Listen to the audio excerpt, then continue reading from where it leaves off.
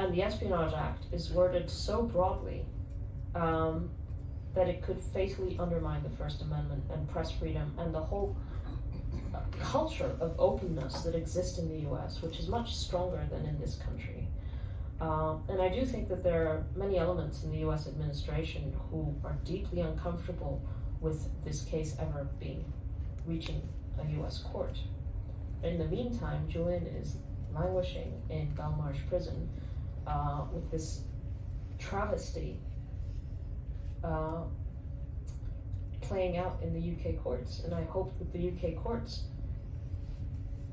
at some point decide to distance themselves themselves with this persecution and with this hounding and and torturing of Julian, which is just getting worse and worse for every day that passes.